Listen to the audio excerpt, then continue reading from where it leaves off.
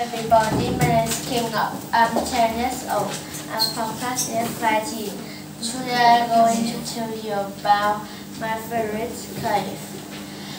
It is the cave Son Doong in Quang Binh, Vietnam.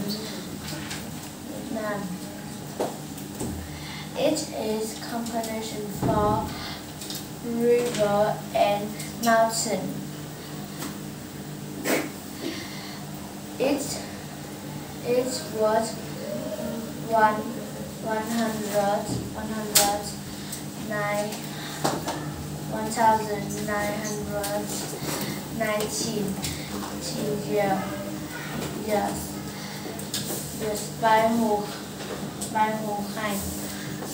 It it is three million. Year three some part to two hundred meter high. The cave is five kilometers long. It has river times snake, plants, rock, bird, bat, bird and bat. I I love I love cave because it's beautiful. That's it. That's, it. that is it. Thank you for listening. Goodbye.